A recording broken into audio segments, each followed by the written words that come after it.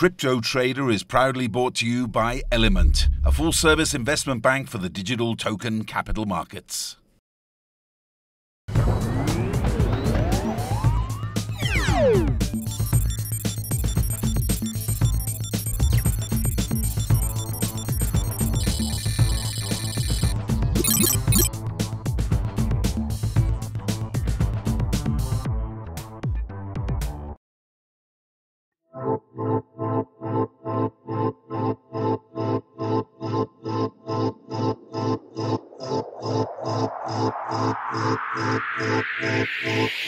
Thanks,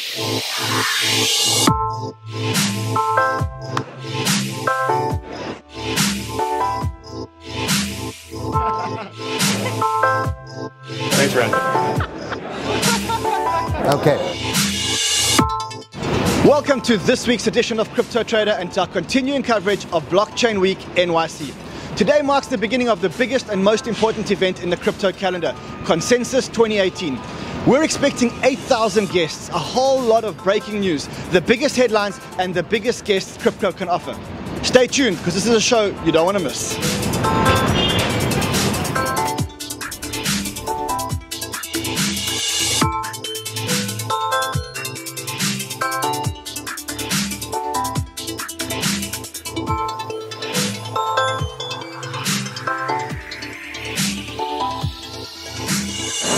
Consensus, the biggest and most important event in the crypto calendar?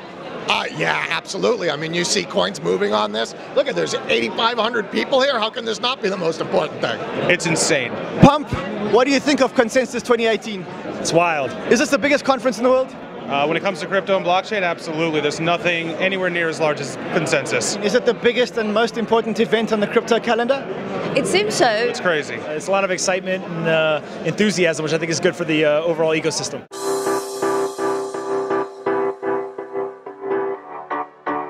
All the big names in crypto are here, and I've managed to catch up with Charlie Lee just off the stage. Charlie, welcome back to Crypto Trader. Thanks for having me, right? Charlie, I want to get something out the way before we talk about interoperability and chains. You sold all your Litecoin tokens last year. You sold them at the highest price or near the highs. And there was a lot of controversy as to why you sold them. Maybe you could just clarify that for us.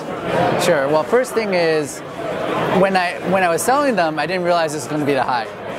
Just, just luck. yeah. Well, in hindsight, I mean, it was we were saying like I obviously knew it was going to crash, but like how would I know? I wish I'd followed you. yeah. um, so the question is like, why did I sell it? So uh, for conflict of interest, so I wanted to kind of focus on the project, and I was becoming a pretty big like. Um, I had a huge Twitter following, so whenever I, I tweeted anything, it could affect the price up or down, and I didn't want to kind of have my hands tied, not be able to tweet something good because it could effectively be like kind of helping my own, like being seen as me helping myself financially as opposed to for the best of the project. And I also saw sometimes like I would know that some things are actually good for the price in the short term, but actually bad for the project long term. So I wanted to make sure that my incentives are aligned with the project long term as opposed to my financial gain short term. And I've made kind of enough to be well off and not to have to work for anyone. So I can work for myself on Litecoin full time and that was enough for me. So I decided to kind of just sell all my coins. I actually kept a little bit so that I can still like test it and transact with it um, to buy little things. But But what about the critics that say that you now have no skin in the game? How do you respond to those guys? yeah, well, I, I actually think I have more skin in the game than everyone else. Um, because I, this is like my baby, right? My project. I wanted to succeed more than um, anyone else in the world, and it's not all about financial reasons, right? So It's your personal integrity. yeah, it's my integrity, it's my legacy, kind of, right? So if Litecoin succeeds, I can be proud of it, and that's worth much more to me than than money in this world. Why is interoperability so important? Yeah, so like right now we have so many different coins like Bitcoin, Litecoin, Ethereum. They are all they're separate silos. So um, being able to like transfer value across chains is is something that's really cool. So you can have all these chains will be interoperable and connected. For example, using Lightning Network's uh, atomic swaps, I can send Litecoin and then you receive Bitcoin on their end, or vice versa. Now, technologically, how does it work? Lightning Network right now is sitting on top of both Bitcoin and Litecoin. It's a second layer solution. And if someone's running Lightning Network on both Bitcoin and Litecoin, then they can transfer value between the two networks. Let's go back to Litecoin. The last time we spoke, you guys were doing well. There was a lot of adoption. It was growing every day. How are we doing today? Uh, good. Uh, we have more and more uh, payment processors um, supporting Litecoin, letting uh, making it easy for merchants to, to accept Litecoin. So this is a chicken and egg problem. I keep saying that because like you need merchants want users to spend before they'll make it worthwhile for them to accept it, and users need places to spend it before they'll actually use it. So, what do you think of Consensus 2018? It's huge, amazing. I came all the way from Dubai to witness it. Bigger than your expectation? A lot of people. How many people do you think are here? Probably 5,000. I was told it's going to be like 5,000 people. Now they say that it's eight. How many people are here? So we had 8,400 people register, about 7,700 had checked in. We expected 4,000 when we started planning the event a year ago, and 8,400, 8,500 was just, it's insane. Back to our coverage of Consensus 2018, and I've managed to track down Israel's biggest crypto investor, Moshe Hogeg. Moshe, you've got a very interesting story about how you came into crypto. Maybe give us your background. Yeah, you know, so I, I actually started as an entrepreneur, uh, uh, built few companies, went from zero to a billion, back to almost a zero. Then uh, uh started a VC, a successful one in Israel, the most active VC in Israel. And then at the end of uh, 16, I was introduced to Ethereum. Even though I bought Bitcoin at early 13, Ethereum really got me excited by the whole concept of smart contracts. So I wanted to invest few millions for my fund, only to discover that my legal team told me that as a VC, I'm not allowed to invest in something that is not equity. So I said, what do you mean? It's a, it's a great technology, I want to invest. I went to my LPs to get a consent, and I didn't. Ended up investing my own money, thank God. So, you know, we invested at uh, slightly below eight bucks and uh, still ordering, very happy from Ethereum. Uh, then we started to boost the Israeli ecosystem because we saw only seven companies was doing blockchain at the time, uh, ending up investing in tons of them and uh, boosting up the, the, Israeli industry, but not only the, the Israeli industry. There are tons of ICOs pitching us every single day. They're all starting to sound the same. What are you looking for? So, you know, either we will see that the core dev team is really different. Like, for example, I really like the team at Cardano, EOS, Orbs, they're really different from the other ones. Uh, uh, so basically, when we see something like this, we'll put a lot of capital in, or we see unique ideas like proof of location, uh, exchanges are interesting. So you spoke about blockchain, you spoke about EOS, you spoke about Cardano. We know those two, but you also spoke about a company called Orbs. Yeah. What is Orbs? So Orbs is trying to do similar things to Cardano and EOS. The biggest difference that I see from the Orbs team is that they understand that when big companies want to tap in into the blockchain space, they, they need to have the ability to update. Okay, you can't wait for uh, Vitalik to decide or for the consensus of the Bitcoin community to, to vote. You need to have a, a, a kind of centralized ledger uh, uh, that has the ability to be uh, to, to enjoy the benefit of decentralization, but also have the ability of the CEO up until a certain time to still uh, being able to, to, to, to, upgrade. So, so Orbs taking this approach. So making crypto more usable to the man on the street, not to the people that are walking around here, but to the man on the street. Uh, you know, in the end, if my mom is not able to use it, then, then it's, it's going to be dead eventually. That's Moshe Hogeg. He's the biggest crypto investor in Israel. He's told you what he's investing in. Stay tuned for more coverage from Consensus 2018. I bet like many people from all around the world just gather. It's like blockchain family gathering. It shows you what the greatness of blockchain pretty much.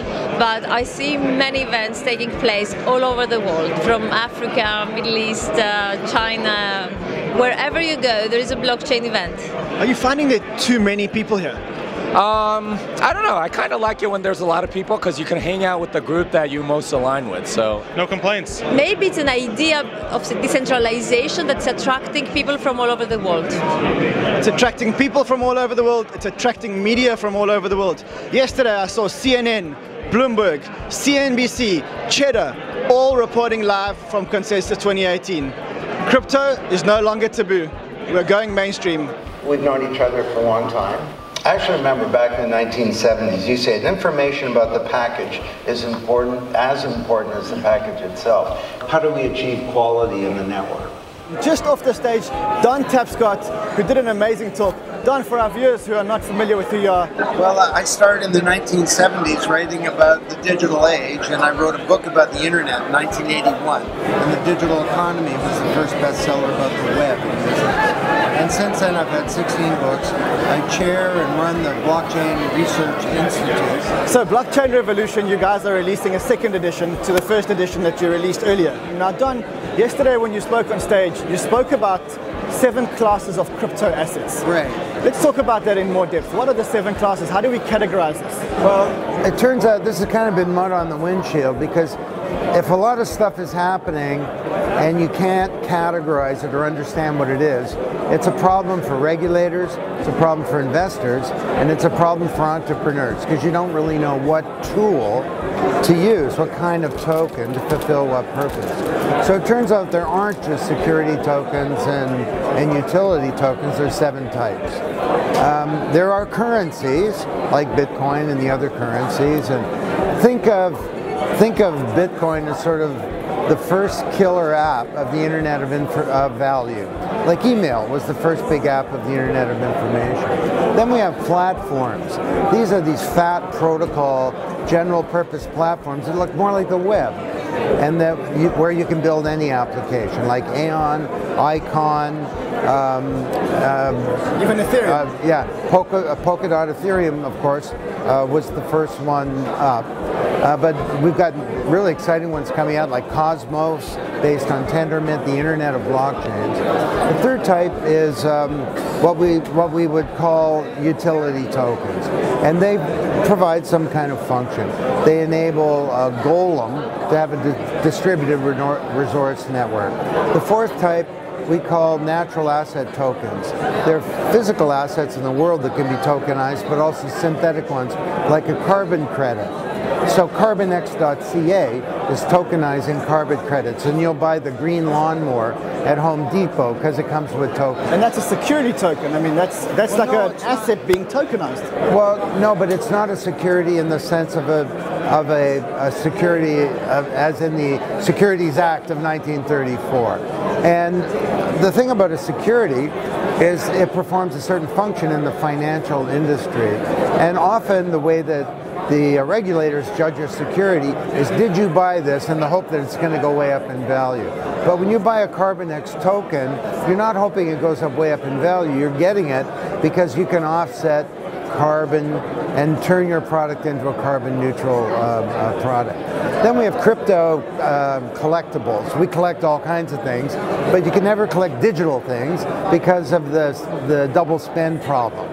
Satoshi solved that. So if you created a digital kitty, anyone could copy it. Well, now you can't. So the big class of that is the ERC 721 token, which is the CryptoKitty token. Yeah, exactly. And then um, the final one is uh, uh, fiat-based cryptocurrencies or stable coins. So that, that's what's going to happen. We're all going to be using the US dollar, only it'll be a cryptocurrency. And you got companies like Sweetbridge that create a token that's pegged to an asset, not just gold or or something that theirs actually based on your supply chain as as a security and the token is pegged to the US dollar. So you issue this token you can borrow money from yourself. So these are all really different and we hope that the new book will help bring some clarity to the market. So Don when you look at the market today and you, we compare it to where we were last year last year was the year of the ICO everybody did an ICO off the back of Ethereum we developed a whole lot of platforms. We developed blockchains. We developed Icon and Aion and WanChain and Ethereum. What's the trend going forward? What should we be looking out for going forward? Well, as I said in my opening speech to the Congress here, I think the next stage has to do with the enterprise. It's not it doesn't mean tokens won't be important. They'll be part of uh, many enterprise applications. But we're in the early days of a profound change to the deep structure and architecture of the corporation. How we orchestrate capability in society to innovate, to create goods and services. And the reason is that blockchain is radically dropping the transaction costs that cause us to bring things inside the boundaries of a firm. The cost of search. Well, you can you know, it's really expensive to raise money. Well, now you can do it through an ICO. The cost of contracting. If every little activity in the economy required a contract, that would be prohibitive. But now we have smart contracts to automate that. The cost of coordination. Imagine trying to make a, a camera or something with a whole bunch of people who never met. No, we bring it inside the boundaries of a firm. But now blockchain drops the cost of doing that and overall the cost of establishing trust. So companies are going to look more like networks and our, a decentralized future is guaranteed. You can always trust an Israeli hacker to find a hack in the system. Barak, tell me about this hack. So actually, uh, Ran, it's, it's not really a hack. It's actually going by the book. Um, we've been involved in crypto since 2013. And we're bugged by the fact that uh, crypto, actually, they're called cryptocurrencies by just a name. Legally, they're not currencies and they're not money. And that's uh, a big, big barrier for mainstream adoption. So regulators don't want to recognize cryptos as money, and, and, and each regulator has their own answer. The SEC would say it's a security, the CFTC would say it's a commodity, the IRS says it's property, uh, so you need to pay capital gain tax when you buy a cup of coffee. Wait, st stop right there. Are you saying when I buy a cup of coffee using Bitcoin, I need to pay capital gain tax? Yeah, it's ridiculous, but that's the way it is uh, most countries around the world. Um, if, because in 2014 the IRS said that Bitcoin and virtual currencies act like money, but they're not money, because they're not the legal tender of a sovereign nation, and therefore they are treated like property. So that actually makes cryptos dead in the water from day-to-day -day usage. That's why we don't really see people using it to buy stuff. We're in a cryptocurrency convention. I don't think even a single person here bought anything with a cryptocurrency today. And we want to bring cryptocurrencies to mainstream adoption. We want banks to use them, we want my mom to use it. So how do we do this? So the first step is to have a crypto which is really legally money. So we asked ourselves, what is the legal definition of money? So the regulators say money is something which is the legal tender of a sovereign nation. So we we went on a quest, we worked on this project in stealth mode for a year and a half now, and we literally had a spreadsheet of all the sovereign nations in the world. And we asked ourselves, which one doesn't have a currency now? Um, and we, that's how we got to the Marshall Islands. It's a tiny, uh, beautiful nation in the middle of the Pacific. They don't have their own currency now, they use US dollars. And we said it doesn't matter how big the country is, it just needs to be a sovereign nation, member of the UN. And so we, we got there. And so you went to the Marshall Islands. We went to the Marshall Islands. You convinced the Marshall Islands to adopt your currency or a new currency as their sovereign currency. And now, as a matter of law, as a matter of a bill of law, a cryptocurrency is legal tender in the Marshall Islands? We signed an agreement with the government, and we and they passed the legislation in their parliament. They're a democracy. They uh, they passed the legislation declaring the currency SOV sovereign as legal tender of the Marshall Islands. So today is sovereign legal tender in Marshall Islands? So today we have the law. Now what we're doing, we're uh, finalizing our blockchain technology, we're developing it, and we also finalizing the legal structure to start fundraising in the world's first IMO, the world's first initial monetary offering, where a sovereign country is issuing its currency to the public, not via central bank, because it's completely decentralized. It's a, there's mining and everything, by via and IMO, uh, and it's going to be fascinating. So what does this mean worldwide? Does this mean that a bank, a normal bank in the USA, can trade this and hold this? That's absolutely true, Ran. So now, basically, by virtue of the SOV being legal tender in a sovereign nation, it's legally money. So a bank can trade it. A bank can actually open a checking account denominated in SOV. We can even connect SOV to SWIFT because it's both a crypto and a fiat currency.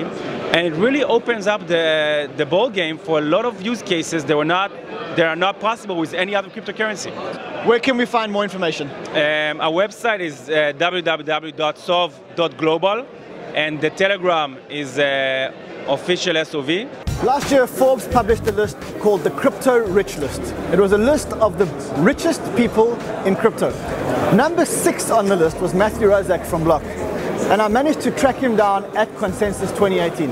Number six. Was it was it right? Uh, I think it's a silly list. What's interesting in this space is uh, now this this industry and a lot of entrepreneurs have resources, and I think those resources are really important to affect change, uh, from advocacy to philanthropy to art. Uh, so I think having resources as an industry where we're still in the early days uh, is a good thing. I'm sure our viewers want to know if the list was accurate. I mean, were the numbers in the list accurate? But I think uh, more so, look at the impact people are making. You know, what are they building? Who are they hiring? Where are they investing?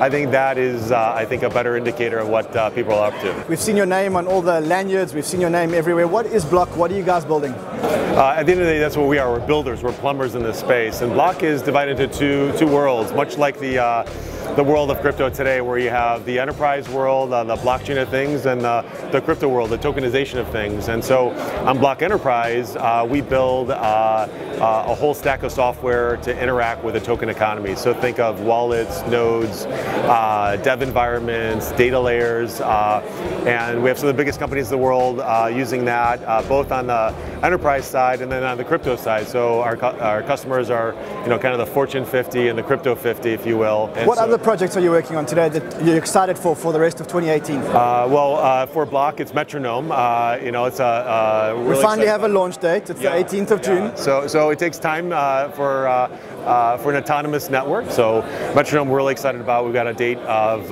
launch for for June 18th. Other ones that I like a lot are Orchid, Orchid Protocol. so Steve Waterhouse has got a fantastic vision for Orchid, and they're going through their their process now to build and launch that. One more project that you're excited about for 2018? Well, the next uh, project that Bloq is working on is, uh, is a new fundamental blockchain that we're uh, uh composing right now. It's called Vesper. And uh, you'll hear more about it in the Q3 timeframe. And uh, by, by that time, I'll, I'll, come back and give you an update. But it's really going to be Q3. You're not going to keep us in suspense like you did with Metronome. You know, the suspense sometimes helps. but, you know, good things take, take longer sometimes than anticipated. But I'll give you a hearty update in Q3. Great. Matt, so good awesome. to see you. Always good to have you on our show. Thanks, Ryan. Let's hear from some more big names here at Consensus.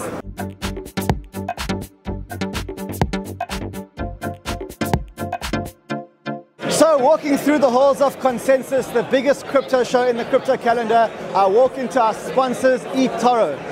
Everywhere you go, you see eToro. On the back of the chairs, it's eToro. Even on the serviettes, I saw eToro. Yoni, is eToro going full crypto? We're going full crypto. Uh, and we're making a couple of very big announcements actually today at Consensus around going full crypto. So because we, you sponsor us and this is CNBC, I think you should make the announcements on the show. What do you say? Done. I'm going to do them right now. All right. So what are the announcements? So we're going to announce uh, that we're launching a wallet.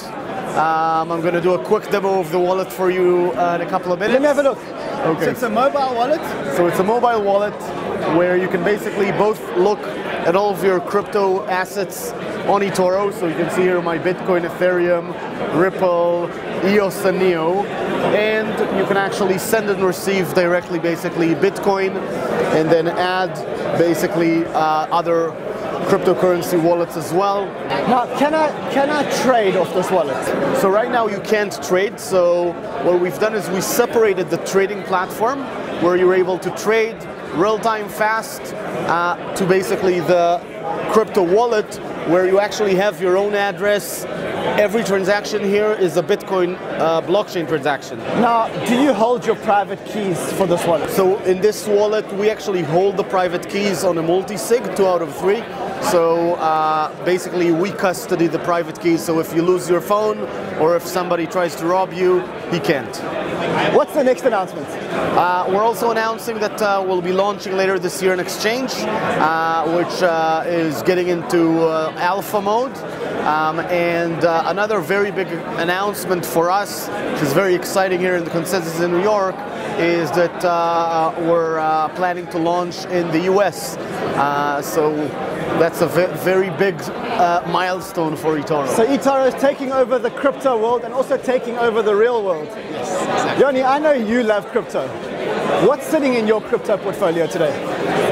Well, first of all, I'm a very big believer in crypto. So over 50% of my investments are in crypto. The main part of my portfolio is still very boring it's Bitcoin and Ethereum.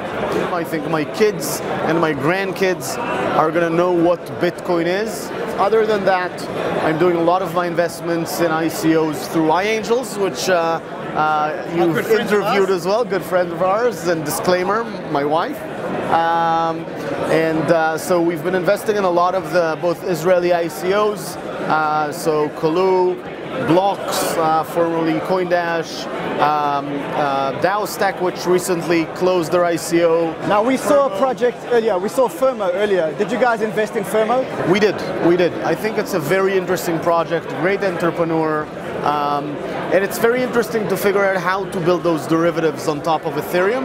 Uh, we actually are working with Firmo on a couple of interesting use cases, like how can you really use Firmo and create something that people here would want to use. That's Yanni from eToro, and they make this show possible. They're our sponsors. A big shout out to them. Thank you very much.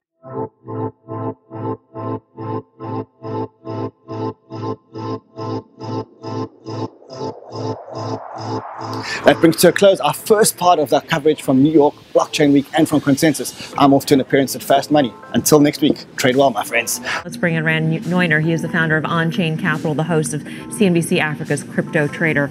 Ran, great to have you back. Nice to be here. So, obviously, this was a major um, topic at Consensus. This is a major topic in the crypto world in general, and that is how does the SEC, how does the CFTC sort of divvy up the world? And well, I think the initiative by, by the SEC was a great one, but I think the joke is on the SEC now because they need to come out with regulation. If they don't come out with regulation, then they may stifle an entire industry. Now, I know they're balancing investor protection with the need to grow an industry, but if you look to places like Japan and Singapore, they've got thriving ICOs and they've got a thriving new industry. And my fear, having traveled extensively to that region and spoken to all the founders and the legislators there, is that the USA actually may be falling behind. So I think the SEC did adopt a responsible approach by taking their time to see what's happening with the industry. But now we know that crypto is real. We know that this thing, the blockchain and crypto, isn't going away anytime soon. And now they've got to come to the party and give us some kind of regulation so we know where we stand. There are thousands, right, of coins out there. Which is the one that you are most excited about right now? So I'm excited for a new generation of protocols like Ethereum. And in that, there's a whole lot of, of protocols uh, Oasis, Zilliqa, um, Thunder Token. These are all new blockchains which are coming up. And they're promising 10,000 transactions per second. These are all tokens which are promising scalability, security, and decentralization. Yeah. But they don't have the developer community that Ethereum has got. Okay. And that's why I said I'm going to hodl Ethereum, but I am placing some other bets on these new these new um, side chains. Ran, great